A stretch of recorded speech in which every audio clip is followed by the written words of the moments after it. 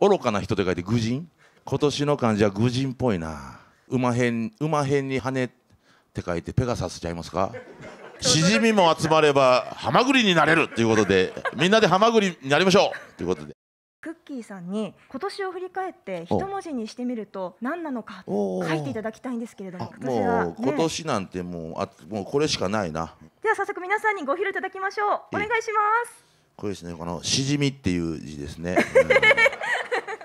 なんだか。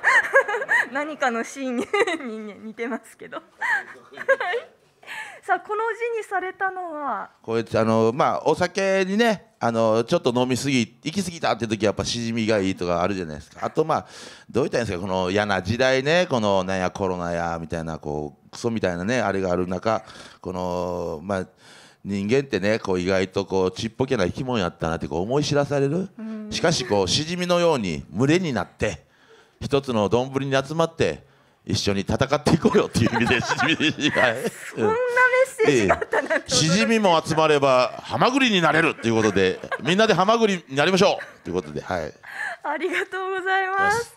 今日間もなく今年の新語・流行語の発表があるんですけどどういうのが選ばれる対象に選ばれるとかなんか予想はどうですかね？いやでもちょっとなんかね今年はなんかいい感じじゃなさそうな気もしますよね。なんか明るい感じじゃないというかね、うん、だからほんあのグーとかじゃないですか？あの愚か。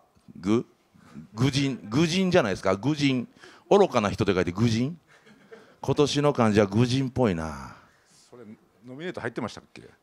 ノミネートってありますの？ああります。いやそれいけずですやん。それ教えてください。よ 知りもせんとそら。当たるわけないですやんか。